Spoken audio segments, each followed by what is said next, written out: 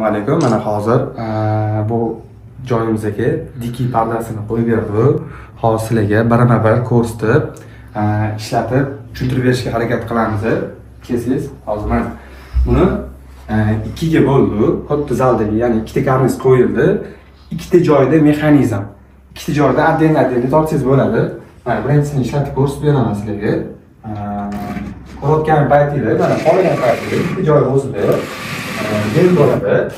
Qaychi turgan joy yopiladi. Ikkinchi tomonida e, ikkinchi mexanizmimizda bor. Mexanizmga topsangiz bo'ladi. Bunda hozir yana qanaqa funksiyalari bor? E, ikkita funksiyasi bor. Xohlagan paytingiz hozir bu qorong'i bo'lgani uchun e, nadoga ko'mir jalizini qo'yib berganimizda yorug' tushmayapti. Shuning uchun ben ko'rinmayapti. Bu yerda setkasidan quyosh o'tadi ko'rayotgan bo'lsanglar bu bemalol o'tadi quyosh hozirgi paytda quyosh bo'lib turadi. Xohlagan paytingda buni yopib qo'ysanglar umuman quyosh tushmaydi. Mana и mana ham xuddi shu narsa. Yopiladi. Quyosh umuman yopiladi. Xohlagan paytda buni e, ochib qo'yiladi и tortib qo'ysanglar ham bo'ladi.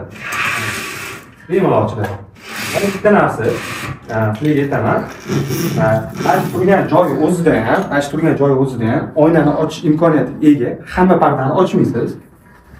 Ko'rayotgan bo'lsanglar mana mana bu yerda oynamiz bor. Shu oyna tomonida, eng oxirgi tomonga olasiz oynani ochiladi и buni yopib qo'yaverasiz mana bo'ldi. Bu yerda shamol o'tiladi.